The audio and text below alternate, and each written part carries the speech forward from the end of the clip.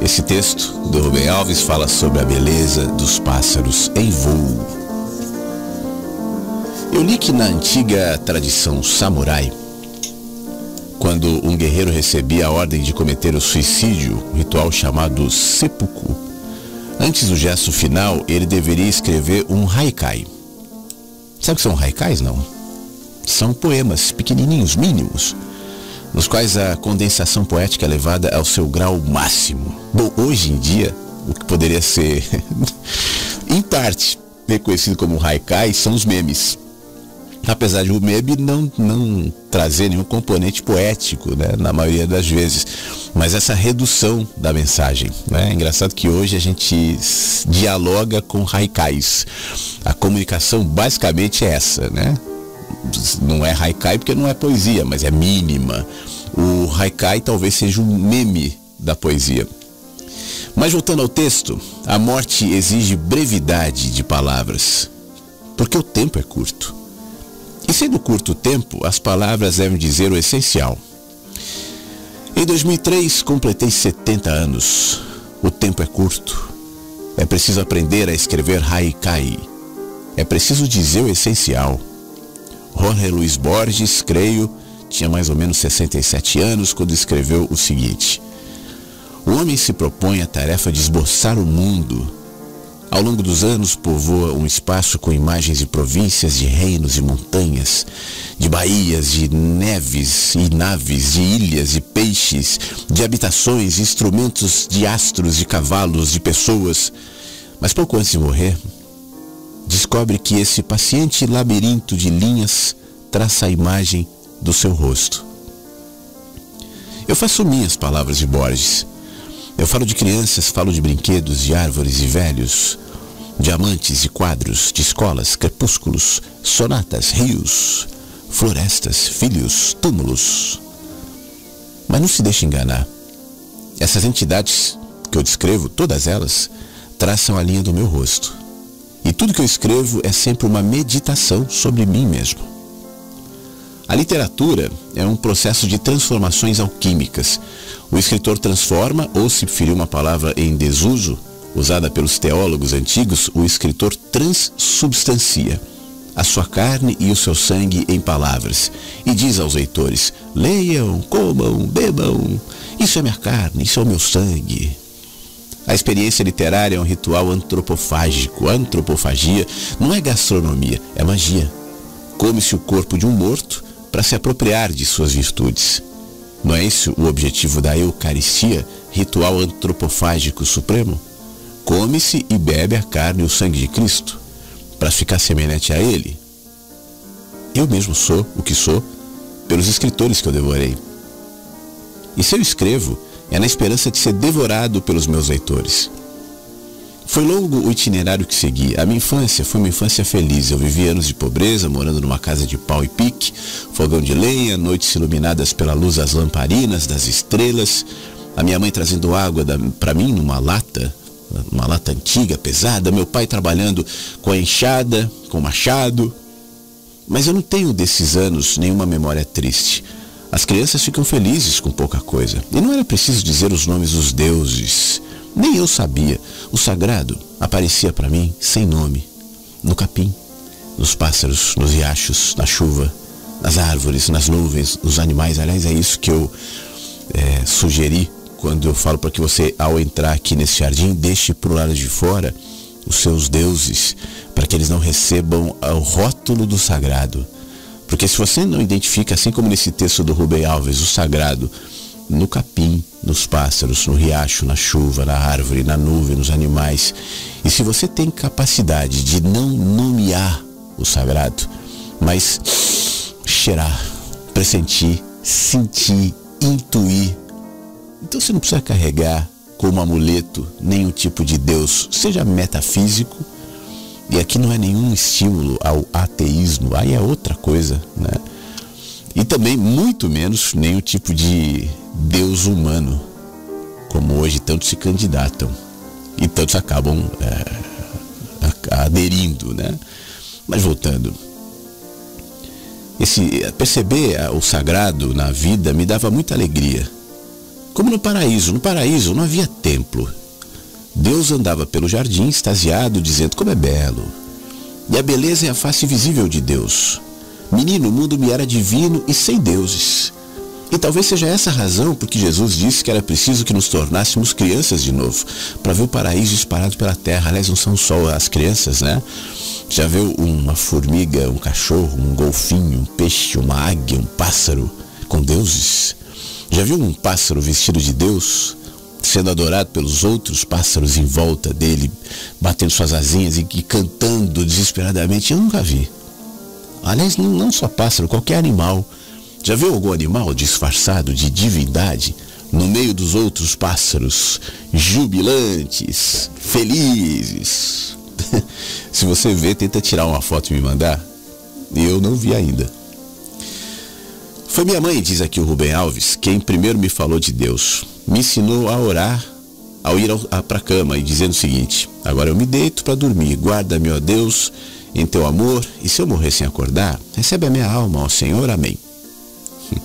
Oração quase haikai, né?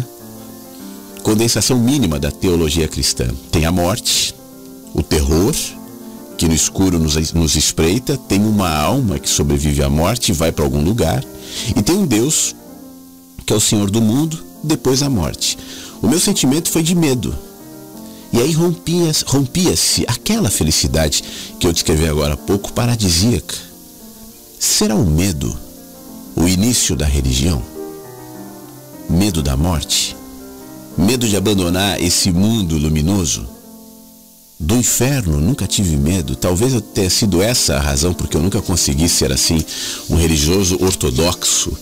Pois o fato é que o inferno é a base sobre a qual a teologia cristã se construiu. Exceção feita aos místicos. A teologia cristã tradicional é um peão enorme que gira sobre essa aguda ponta de ferro chamada inferno. Mesmo quando se faz silêncio sobre ele, é ele que mantém o peão rodando. Quem está em cima do peão que roda não pode ver a ponta de ferro que torna possível o seu giro. Sem essa ponta, o peão para de girar e aí cai.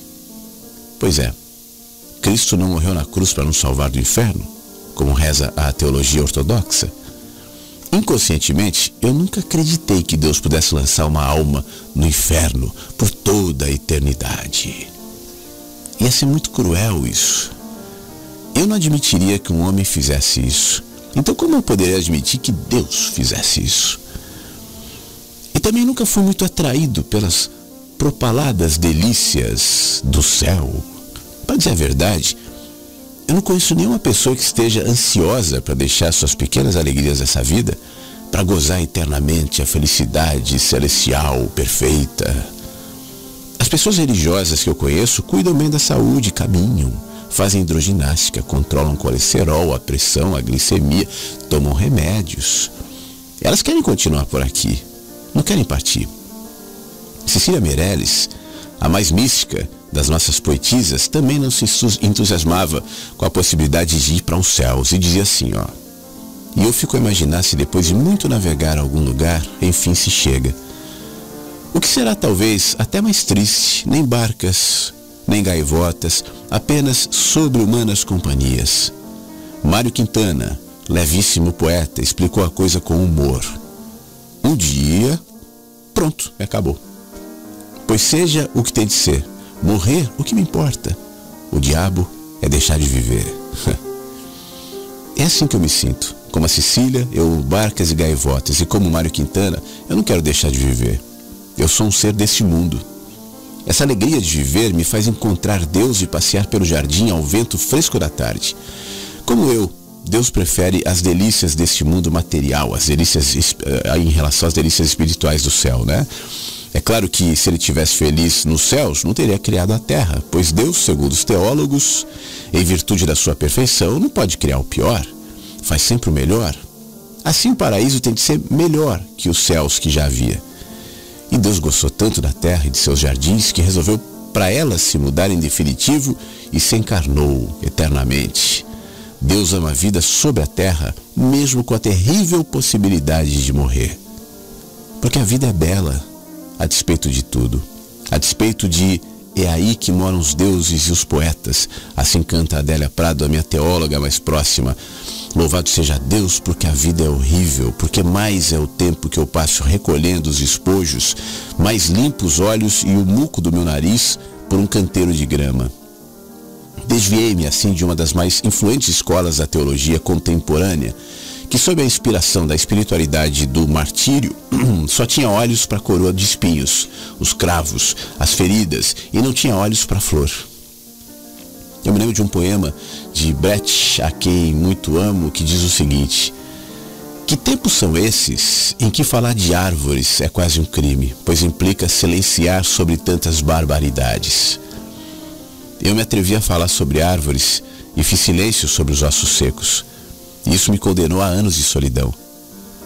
Mas, aliás, deixa eu fazer só mais um parênteses também, essa coisa de falar de árvores e ossos secos, é claro que ele está sendo literal aqui, mas metaforicamente a gente vive num tempo muito semelhante, onde você é levado pela pressão das redes, pelas pessoas, a, o tempo inteiro falar sobre ossos secos, né? Eu me lembrei de, uma, de um comentário que hoje deixaram naquele meu. Eu deixei, eu fiz no Instagram aquele. recuperei aquele vídeo, o Fisgados pela Dor, né? Que descreve não necessariamente esse tempo atual, mas o nosso estado de espírito atual a nossa vulnerabilidade para que sejamos fisgados pelo ódio e pela dor e pelo ressentimento. E o que isso deriva? Jamais são frutos é, diferentes da semente que iniciou aquele processo. Semente de ódio, semente de dor, vai gerar adiante, ainda que em nome da justiça, de Deus, do amor, da liberdade, seja lá do que nome que a gente quiser, mas vai gerar frutos correspondentes e talvez esse tempo que nós estamos vivendo seja reflexo disso. Diante desse tempo, Vale falar sobre as árvores. Pode ser a árvore física, mas pode ser a árvore metafórica, porque ela reimplanta na gente outro tipo de semente que não é a semente do ódio pelo qual nós somos fisgados. Mas existe uma insistência das pessoas para que a gente continue martelando nisso. E, e aí eu falava da mensagem que eu recebi hoje de uma mulher que dizia o seguinte. É, enquanto o mundo queima, filosofar. Essa é a segunda ou terceira vez que eu recebo assim, no prazo de uma semana, essa palavrinha de, de pessoas diferentes. Filosofar, ou filosofar, ou filosofada, né? É uma forma pejorativa de você descrever um pensamento que não se encaixe naquele enquadramento de ossos, de aridez, de ressentimento e que não leva a lugar nenhum. Eu volto para o texto já já, mas só para emendar. é, a gente a gente está vivendo um tempo de impossibilidade de diálogo, de impossibilidade de, de reflexão. Isso está interditado diante da necessidade de você falar de aridezes. Esse plural acho que é invenção minha, mas é assim que eu sinto. De ossos, de morte, de ressentimento. É claro que a gente não fala sobre isso abertamente, mas a gente passa um verniz sobre discursos de ossos, de ressentimento, de dor. E esse verniz pode chamar democracia, pode chamar amor, pode chamar liberdade, pode chamar Deus, pátria, família, não importa. Mas no fim das contas, o fruto é muito medo, é muita entorpecimento, é muita loucura. E pessoalmente, eu não acredito na melhorar uma situação como essa, alimentando esse tipo de estado de espírito com discursos antagônicos, porque no fim das contas produz as mesmas coisas. Por isso a proposta do Rubem aqui de falar sobre árvores. Entenda as árvores como quiser, nós falamos de jardins aqui, né? Apesar de nossa proposta não ser literalmente a jardinagem aqui na Rádio Inverso. Poderia ser, mas o nosso jardim é de outra natureza. É, é preciso que a gente reimplante a semente que nos motiva, que nos faz dialogar, para que a gente fale aquilo que for necessário falar, para que a gente haja de maneira contundente, de maneira objetiva, mas eficaz. Que a nossa ação não seja produtora de mais ódio, de mais ruído, de mais briga. Eu me lembro quando eu era um, um cara adolescente ainda e, e tinha um envolvimento com a religião e às vezes quando na igreja tal, e já era uma pessoa contestadora nesse sentido. E eu me lembro que tinha um detalhe ali que me chamava muita atenção. Sempre que um amigo, que alguém que ia na igreja tal, se incomodava com quem pensava diferente, por exemplo, um ateu, Né? Ele tentava contra-argumentar o ateu com sua própria linguagem religiosa. Então ele diz o seguinte: ateu, você não acredita em Deus, né? Que coisa, hein, ateu? Então eu vou te dar um argumento assim falível. Se você abrir a sua Bíblia em Mateus capítulo 4, eu falo, mas vem cá, que, que o cara não acredita em nada, que, que você está usando esse tipo de argumento?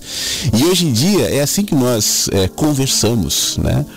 O, o, o, de um lado e o de outro usam seus dogmas, as suas armas e os seus ossos para tentar de alguma maneira impor algo que lhes parece irrefutável, uma verdade absoluta, quando na realidade só é peso, só é ruído e só é gerador desse tipo de situação que nós estamos vivendo. Então é necessário que a gente volte a falar de árvores, no sentido metafórico e no sentido objetivo, para que novas sementes sejam produzidas, para que novas terras sejam é, propícias né, ao surgimento de uma outra natureza, de um outro jardim. Mas deixa eu voltar para o texto que eu já saí bastante dele. Eu lembro de um poema do Brecht que fala que tempos são esses em que falar de árvores é quase um crime, pois implica silenciar sobre tantas barbaridades. Eu me atrevi a falar sobre árvores e aí eu fiz silêncio sobre os ossos secos. E isso me condenou a anos de solidão. Mas se eu falei sobre árvores, é porque eu acredito que são os poemas sobre árvores que ressuscitam os ossos secos espalhados no deserto. É basicamente o que eu falei agora há pouco. Visões de ossos secos não têm poder para dar vida aos ossos secos. Eu imaginei uma política que nascesse da beleza. Lutam melhor os que têm sonhos belos. Lutam melhor os que têm sonhos belos, que têm natureza bela.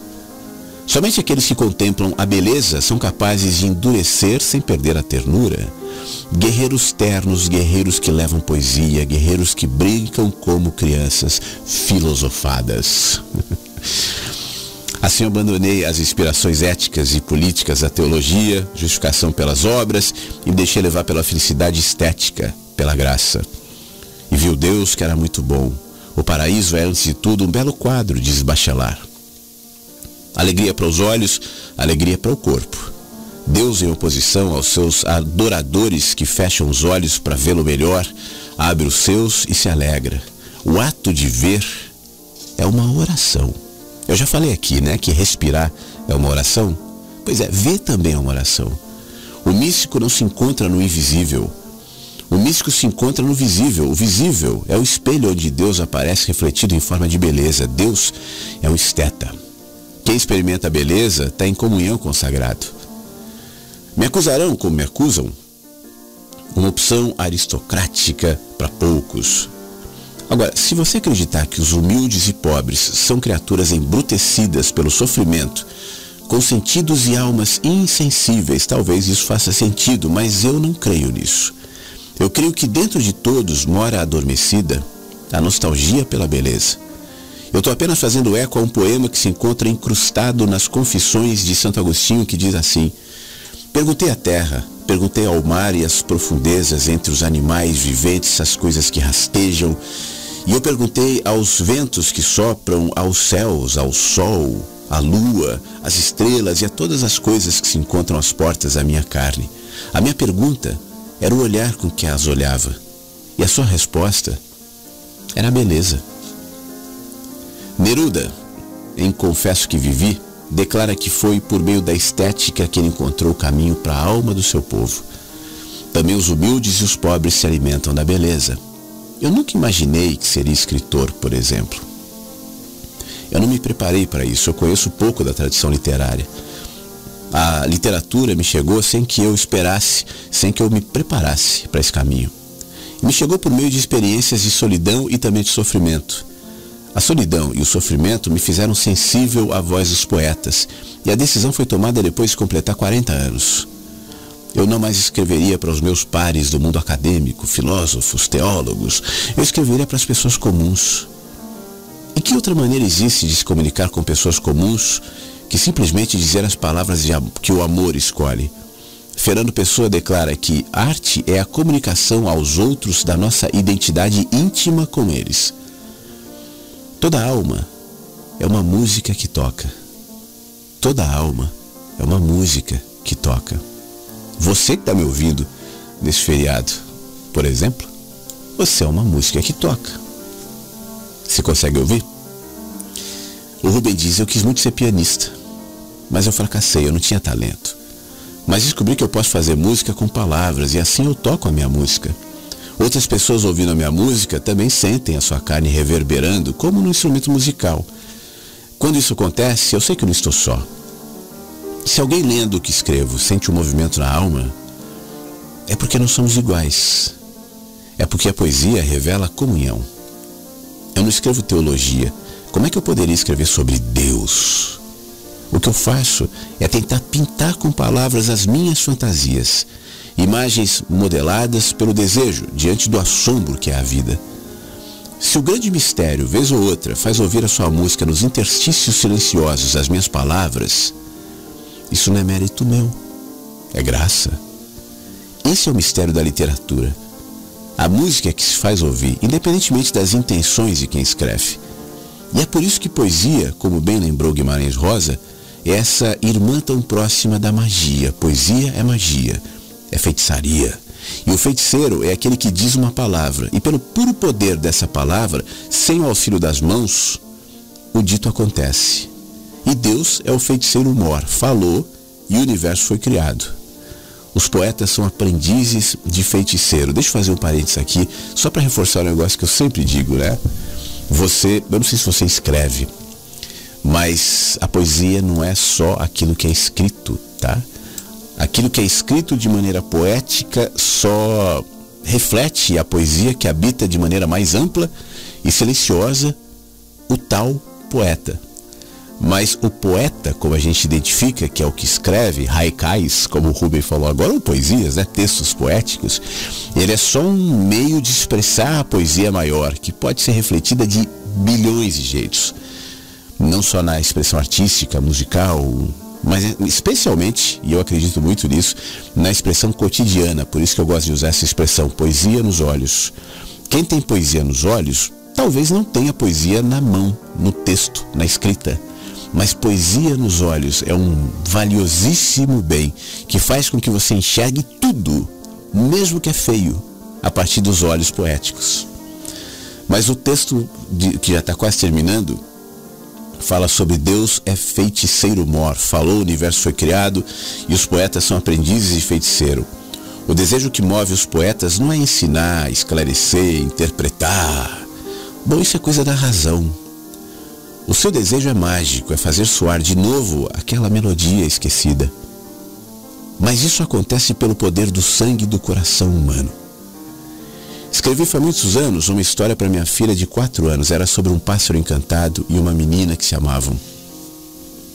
O pássaro era encantado porque não vivia em gaiolas. Vinha quando queria e partia quando queria. E a menina sofria com isso porque amava o pássaro e queria que ele fosse seu, para sempre. Aí ela teve um pensamento perverso. Se eu prender o pássaro encantado numa gaiola, ele nunca mais vai partir, e aí nós vamos ser felizes, sem fim. Foi isso que ela fez. E aconteceu que o que ela não esperava, o pássaro perdeu o encanto. E a menina não sabia que para ser encantado, o pássaro precisava voar. Aí me dei conta de que essa história é uma parábola também da teologia. Existe sempre a tentação de prender o pássaro. Encantado, o grande mistério. O pássaro que só, só é bonito voando. A nossa intenção é prendê-lo em gaiolas de palavras. O poeta é aquele que ama o pássaro em voo. E voa com ele. E vê as terras desconhecidas a que seu voo leva. Por isso, não há nada mais terrível para um poeta do que ver um pássaro engaiolado. Ou, eu adiciono aqui, quem tem poesia nos olhos, poesia no olhar, poesia dentro. O engaiolamento de ideias, o engaiolamento de gente, de desejos. Isso nos agride, né? Bom, voltando para o texto. Daí que o poeta, do texto dos olhos, se dedique hereticamente à tarefa de abrir portas das gaiolas para que o pássaro voe. E é para isso que eu escrevo, pela alegria de ver o pássaro em voo. T.S. Eliot tem um verso em que diz o seguinte: E ao final de nossas longas explorações, chegaremos finalmente ao lugar de onde partimos e o conheceremos então pela primeira vez. Só na velhice dos reencontros com a infância, com a nossa infância. Eu creio que essas coisas que escrevo são uma tentativa de recuperar a felicidade perdida da minha infância. E agora, na velhice, experimento a alegria de ver muitas gaiolas vazias e a alegria de ver os amigos que sorriem comigo ao ver os pássaros em voo. Mas tenho uma tristeza. Eu me sinto como Ravel, que ao ver aproximar-se o fim, dizia num lamento, mas tem tantas músicas esperando para serem escritas.